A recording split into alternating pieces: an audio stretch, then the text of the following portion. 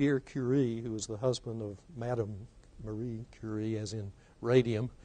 But in addition to his radium studies, he and his brother had an interest in what was called piezo or piezo, some people say piezoelectricity.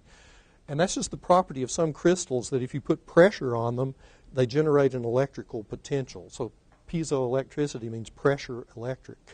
So this is the basis of everything we do. Is if you uh, this is the listening part of it, where the pressure, the wave comes back and hits the crystal and generates a current.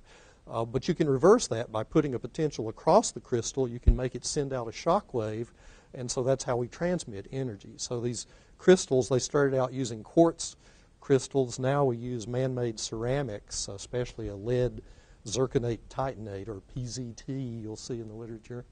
Um, and this was just the idea that if you compress the crystal, you get an electric potential, or if you put an electric potential across, you can deform the crystal, make it larger, and send out a, a shock wave.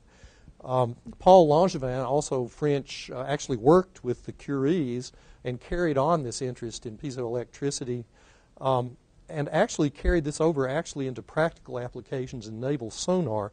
He got a boost. Uh, this is one of his early uh, pieces of equipment. This would have either been over the edge of the boat or would have been mounted on the bottom with this inside and this part outside the hull.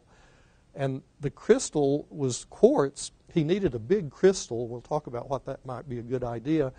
And you couldn't find single quartz crystals that big that were pure enough, so it's put together as this mosaic of little individual quartz crystals to make up the entire thing. What you could do with this was certainly measure depth, for example, uh, how deep is the water beneath your boat.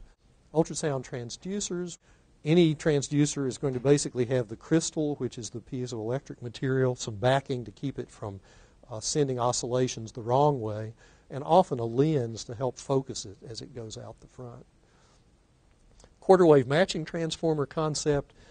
If any of you are old enough to remember when we had the TVs that you had to use these little connectors for the antenna, and then you got cable and you had to get this adapter because the cable came in here, this converted something like 75 ohm to 300 ohm and any quarter wave matching transformer just simply limits the amount of reflection at the boundary between things of two different impedance.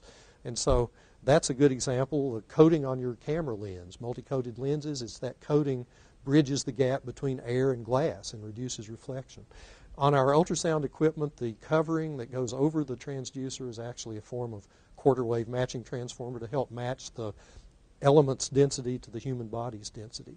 And there's another thing in the formula, which is our scan gel, which just looks like goop, but it's actually very high tech goop because it's deliberately of a density that bridges again that and allows efficient transmission of sound into the body. Real time came along where you could introduce either a moving, maybe this one oscillated around, and as each one of these elements came in contact with the patient, it would fire, and then the next one would come along and fire, and then you could sum those up on the display monitor and get a moving picture. That's kind of analogous to the early radar installations where you had either back and forth movement or up and down movement. Well, the newer radars are just these flat screens with lots and lots of little individual antennas, and that's exactly the concept we have now, which is lots and lots of little individual transducer elements, each one coming out to its own connection on the big connecting panel here.